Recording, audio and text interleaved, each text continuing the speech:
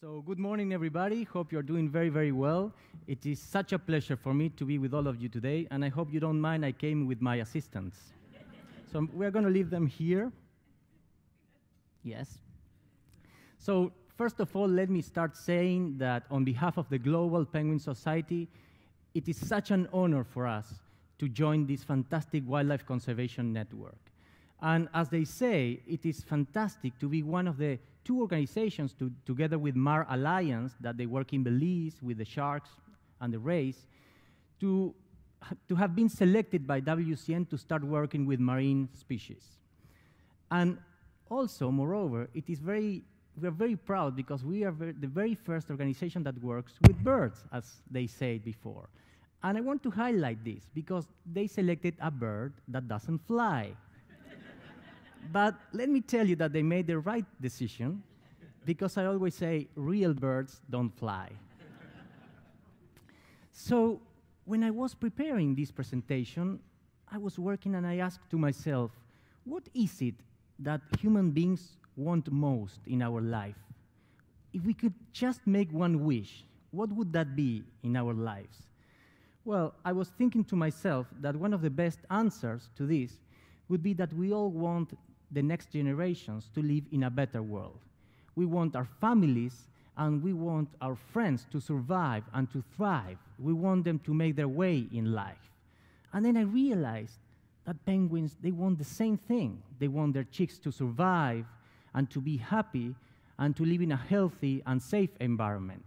So in this presentation, what I want to do today is to tell you what are the problems that penguins are facing to deal with these obstacles in order to make that happen. But before I go, I do that, I want to tell you some personal things, how I ended up working with the penguins. So if I have to tell you when was the first time that I heard about a penguin, it was when I was two or, or three years old, and my grandmother used to tell me very nice stories about penguins in Patagonia. She used to go with horses and wagons at the beginning of last century to the coast to visit these penguins. And I was a very small boy, so I, for me were very foreign st uh, stories. It was like listening to stories about Mars, for example. And then when I was an adolescent, I wanted to be uh, an ambassador. I studied laws for two years. I didn't like it that much. But, um, and then I went to, I moved to Patagonia, and I just, oh, there you go, sorry. And I just cannot describe you the connection, the strong emotional connection that I felt when I was surrounded by half a million penguins, which is the size of this colony. So when I went there, uh, in those years, in the 80s, 40,000 penguins died per year due to the oil spills. So I used to collect them, and I had a little rehabilitation center. So I used to pick them up and rehabilitate them. This is me 25 years ago. I'm feeding one of these penguins in this rehabilitation center. And then I realized that I needed more tools to help them. So I studied uh, in the university. I was, I'm a biologist, and, and then I have a PhD in marine ecology and seabirds to be able to help them in a more efficient way. So if I look back in time, I realized that I was always connected to penguins one way or another. And I owe penguins a lot because I even met my wife, Laura, thanks to the penguins. so, a long time ago, I went to, to a colony to work to census a penguin colony in a remote island with a team of people, and I met Laura. She's a marine biologist, and she works in marine mammals. So we met there because she was working with the sea lions. In fact, she was collecting the head of dead sea lions. So that was not very romantic but anyway, so we got married two years later. We have our chicks, Alejo. This is Alejo, this is Herman. And this is the place, the fantastic place that I love so much. This is a place where we met and the place where we currently work. But when I was doing my PhD, we had this big economic crisis in Argentina, one of many, a social, economic, and political crisis and we went through very difficult times. So I had to work as a tour guide, I painted houses, and I also worked as a driver to raise my kids, to finish my PhD, and to continue my dream working within conservation. But then things started to thrive, and the projects went very well. And some years later, re I received the Whitley Award presented by Princess, Princess Anne from England in recognition to my work in penguins, and that was a home run. And as you can see, thank you. thank you. I am wearing this poncho there. This is an antique. It's a gift that my mother gave to me. This is typical from Argentina every single stripe here means all the accomplishments in the lives of the Indians, you know, of the Indian tribes in Argentina. And I use it for very special occasions. So I use it with Princess Anne, and, and I'm using that with you today. So this is my family now. They're grown-ups now. This is Herman. He, he's studying economy far away from us. He left our home. He, he left our nest. And he's studying economy. And this is Alejo, he's 17, he's 19 now, and uh, he's going to study naval engineering. So they're not going to be in conservation directly, but I'm, going to, I'm sure they're going to have a key role in their profession because we can all have a role. We don't need to be biologists to work in conservation. So what I want to say is that, sorry, there we go. And um, that I realized that I owe penguins a lot because they allowed me to show my kids that they have to follow their dreams. They, have, they don't have to surrender, they don't have to give up. And the penguins allowed me to show them. They could make, my kids could see that helping penguins was a dream that came true for me. So, but penguins are not only important to me, and I want to show you today why they are important to all of us. Penguins are excellent indicators of the health and the conditions of the oceans. Penguins are warning us in their own language why oceans are so important, and they're telling us that the oceans are in trouble. The oceans cover 71% of the surface of this planet. They are crucial for our existence. Life on this planet started in the ocean, and the well being of the planet depends on the health of the ocean. But we, we have initiated this unprecedented age of alterations to marine ecosystems. And penguins are a fragile group of seabird species that are particularly affected by these alterations. In fact, 60% of the 18 species that exist in our planet are considered threatened. That means that they are vulnerable or endangered by the International Union for the Conservation of Nature. Penguins are remarkable and so, so interesting creatures. They can live, as Jefe said, from the South Pole in Antarctica up to equator in the tropics, and they breed across islands and continents throughout the southern hemisphere. As you can see here, sorry, penguins can live in Antarctica. In Antarctica, there are no plants, so they don't have nesting material, so they incubate their eggs on their feet, right, as here. Some of the species, they nest in the open, and they also they use pebbles or rocks to nest. Some others, like the Humboldt penguins, they live in deserts in, hum, in Peru and also in Chile, and they have nests among the cactus. The Magellanic penguins, they live in southern, the southern cone of South America, and some of them, they prefer to build these nest burrows where they protect their eggs and the chicks from the exposure of the sun and also from predators and some of them live in the forest. And I guess you didn't know that. Do you see the penguin in the picture? Can you find it? It's not a flying bird, so you cannot find it. Look, it's here. See? This is the Fiordland crested penguin. It's a sacred animal the, for the Maoris communities in New Zealand. There are only 3,000 birds, uh, pairs there, and this, this bird is outside of the nest. That's the reason you can see it. But it's very difficult to work with them because you can hardly find them. They live in the middle of thick forest, in caves, under logs or trees. So it's very difficult even to count them. And they live on steep slopes, so you have to climb and literally crawl among the vegetation to find them. So as you can see, penguins, they nest in a wide variety of environments. And penguins, they have a characteristic is that they're very social birds. So They breed in colonies all together. They feed in the ocean in groups, and uh, they also migrate in groups. So I want to show you this video. This is video, I we filmed this video on the beach.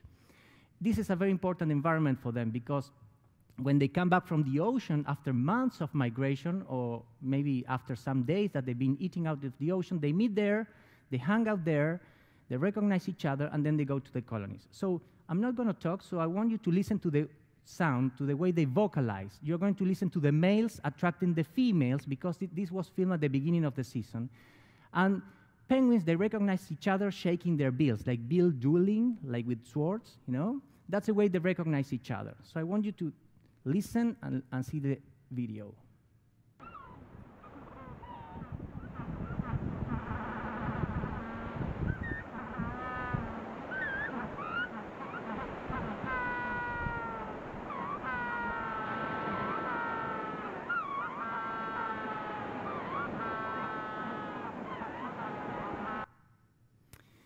So interesting, right? so as you can see, this is a very important environment because this is the place where the males, they do displays to attract females. So they're very similar to human beings, I might say, right? So let's meet the penguins. So I guess the most famous penguins of all is the emperor penguins, right? Because they've been featured in films such as Happy Feet and The March of the Penguins, which is the biggest money-making documentary ever. Hmm? Penguins are incredible animals because they are nesting, incubating their eggs in the middle of Antarctica in the winter with a temperature of 60 degrees Fahrenheit below zero and a wind of 110 miles an hour, like Matthew Hurricane, more or less. Imagine the situation. We also have these other species of penguins that nest in Antarctica mostly. The chinstrap penguin here, the Adelie penguin, and we also have the Gentoo penguin. We have a group of penguins that are called crested penguins because they have these very nice crests of colorful feathers and the eyes and red bills and foot. This is the northern rockhopper. They only live on Tristan da Cunha and islands that are in the middle of the South Atlantic Ocean. Population is 200,000 pairs, and it's declined seriously in the last three decades. And this is the smallest penguins of all. This is the little blue penguin. They live in Australia and New Zealand, where it's been declining. This penguin, the adult size is one foot tall. Compare that one to the emperor, which is four feet tall.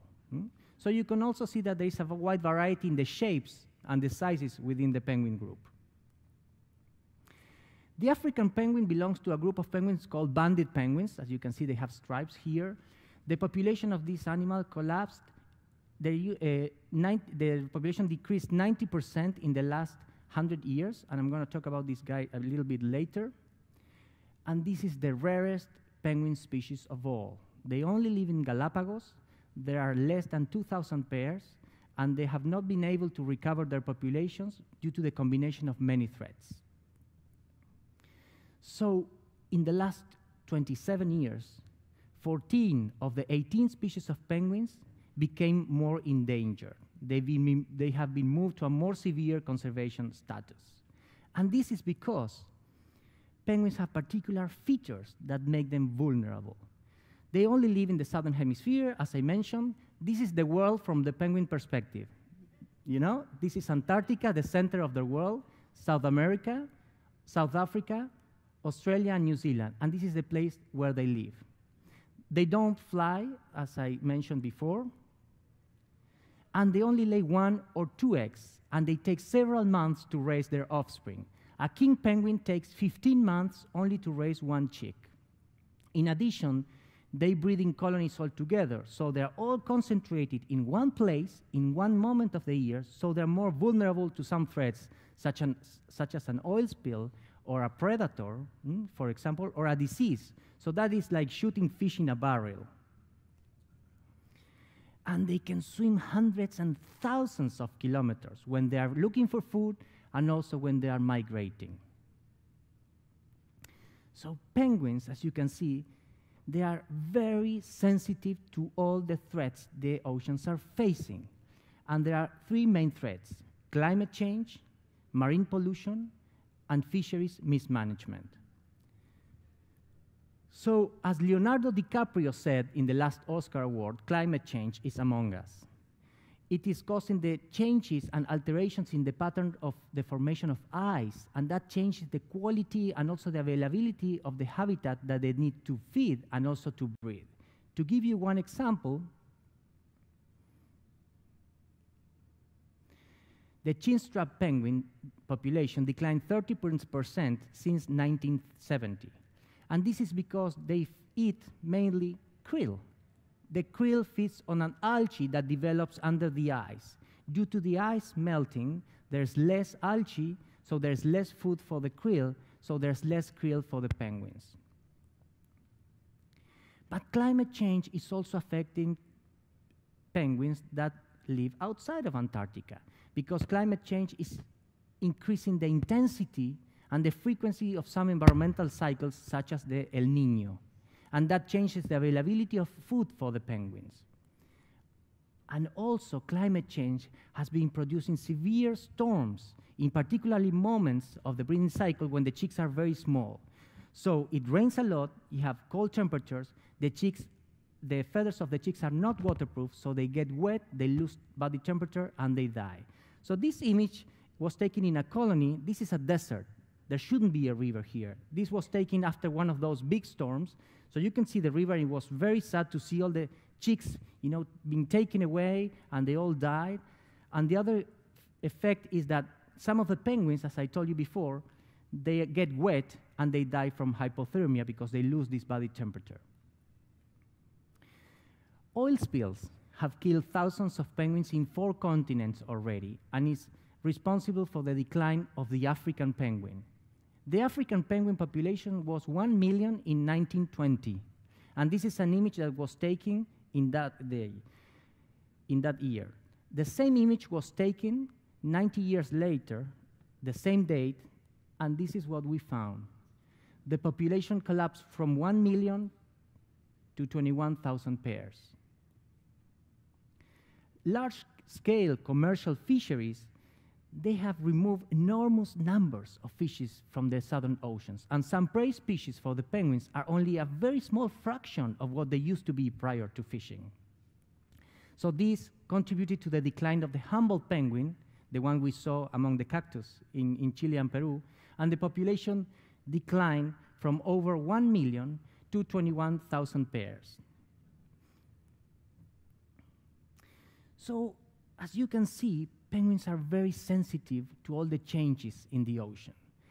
And when you study penguins, you can have a very good insight into the magnitude, the location, and the nature of the priority conservation issues to address. This penguin is dead because it was caught in a net during a fishing operation. Sometimes they die because they get caught in garbage that is out in the ocean. So all these mortalities are caused by humans. So we need to work with the humans. And most environmental problems have social roots. But the good news is that people have a very strong emotional connection with the penguins. And that helps to generate interest in the public that can catalyze political interest to implement solutions. And moreover, penguins are very charismatic. They are a charismatic flagship group of species and they are an excellent tool for integrated ocean conservation. And that allows us to protect many, many big environments, marine and coastal environment, and to benefit many other species that maybe we don't know enough about, or maybe we don't care as much as we care about penguins. So this is the reason why we created Global Penguin Society, it is an international organization that promotes the protection of all the penguin species in the planet. We work in science, in management, and in conservation. And what we want to do is to help penguins thrive through very, this very narrow environmental bottleneck the planet is undergoing. In science, we conduct our own projects and we also support projects that we are interested in because they generate information to lead conservation action. For example, we have a project with the Fiordland, remember the guy in the forest, the penguin in the forest, This is the, uh, a very interesting project because for the first time in history, we are tracking these penguins to find out where are the feeding routes and where are the food sources. So with this information, we're going to see if there are overlaps with human activities, particularly in a moment where there are a lot of plans to increase fisheries operation, to do deep sea mining, and, and also oil development in New Zealand. And this is a project that we have in South America with Magellanic penguins. We have this system that identifies each penguin. Each penguin has a, an identity. The system weights the penguin, so we know how much they weight when they go to the ocean and when they come back. But we have been having problems with this system. It, it was not working properly, so we went there to check what was going on with the system. And this is what we found. We found this gang of penguins that they, they were trying to unplug the system from the solar panel. So you see this guy pulling from the seat. Now it's disconnected from the system, so we don't register any more information. so they're happy and they go home. So, as I always say, sometimes we need to work with the people to convince them that science is useful, but sometimes we need to convince the penguins. anyway, so this is one of the, our last products. This is a book called Penguins, Natural History and Conservation. We work with 49 colleagues from 12 countries.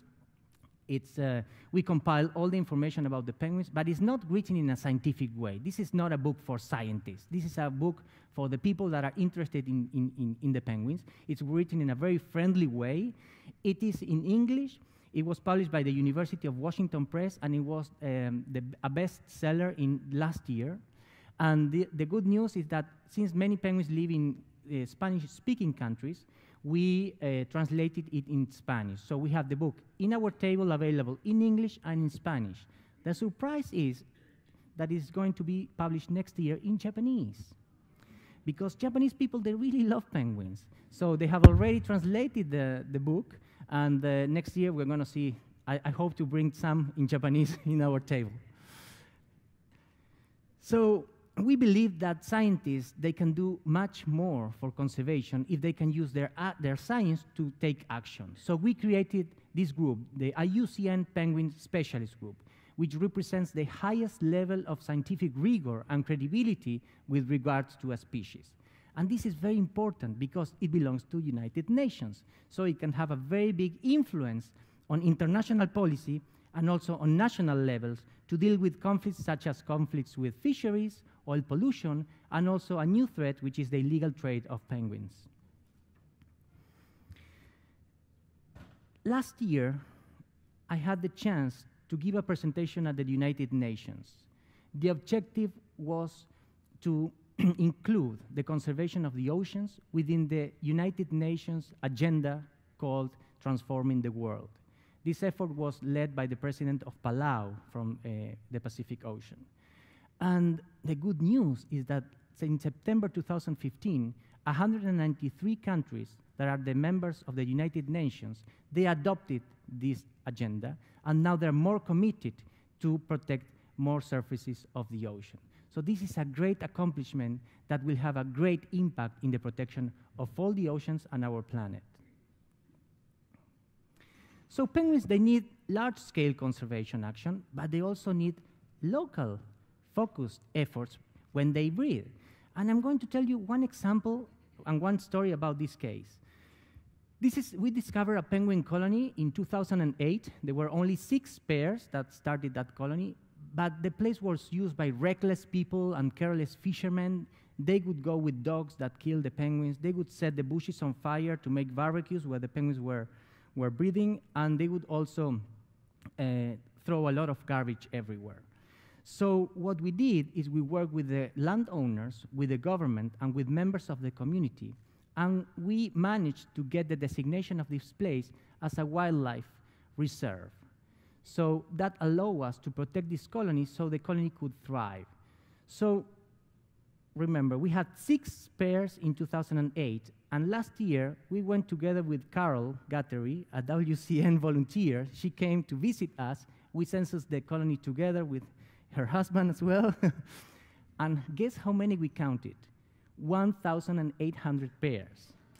So that's, thank you, Carol, for the effort.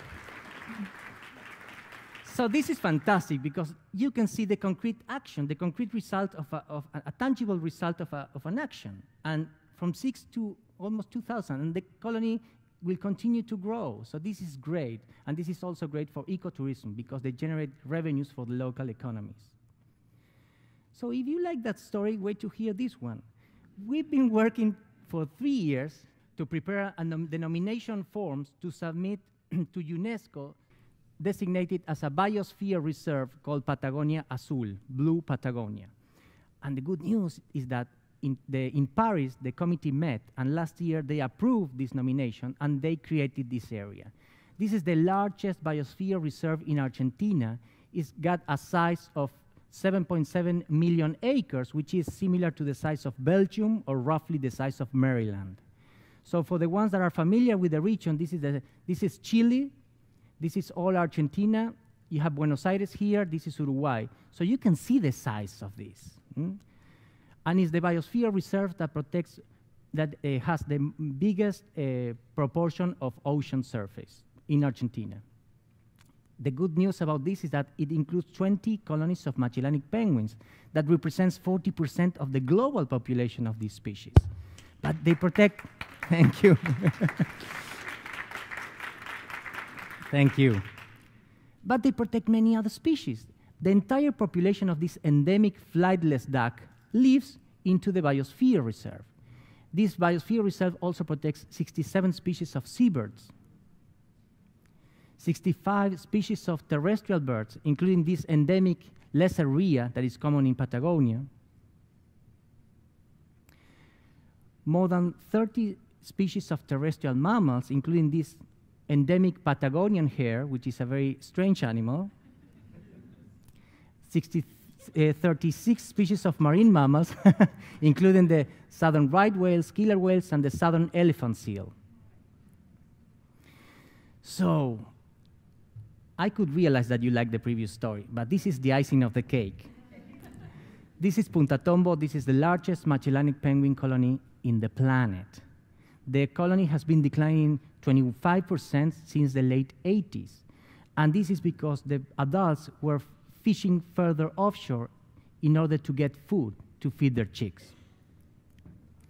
So this, we had information because there are we work with colleagues that collect information, and this graph shows us the age of the chicks and when do they starve, how many of them starve to death. And this information is showing us that starvation is the main cause of mortality for the chicks. And the important thing here is to see that most of them, they die from starvation when they are less than one month old. So this information is useful to say, okay, we need to protect the area where they feed, where the food is, when the chicks are small. And we also had information showing us where protection is needed. So this is Argentina, this is the place, this is Punta Tombo, and these bluish areas, they show you the areas used by the adults to look for food to feed their chicks. So this is useful to say, okay, we need a protection there.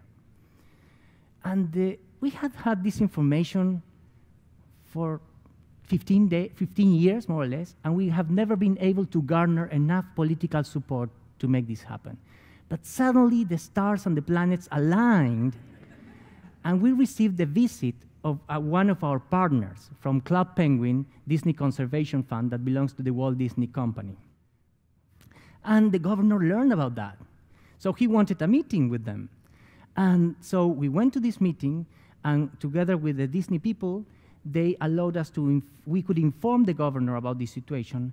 And together we encouraged the, the governor to promote the designation of marine protected area for this area, for, this, for Punta Tombo. So this meeting triggered the, um, the creation of the two large protected areas that I mentioned before, the marine protected area for Tombo and the biosphere reserve. So I want to thank personally Nicole Rastad, who is here, who was one of the persons from Disney that came and triggered this meeting, and he's in the audience here. So I want to thank you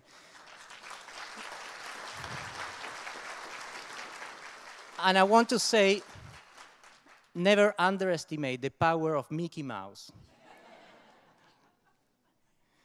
so we're very, we also have an educational program, and we're very, very strong about this educational program. We want to reach the communities and the kids and also the international audience with our findings and with our conservation message. So we do different activities. We participate in documentary films. We have presence in international and national media. We also help to design interpretation centers. So when people go visit as tourists a colony, it's not a funny, only a funny experience. So they learn a lot. It's an educational experience, and they go back home with, with a conservation message. We also created this poster that includes all the penguin species in the world, the conservation status, and also the population size for all the species. And this poster is available in our table also. And we printed this book, which is an educational book called Mensajeros del Mar. It's in Spanish, it's in the table. We give a book for every kid that participate in our educational program. And the highlight of our educational program is when we take kids and communities that live close to the penguins to visit them for the first time.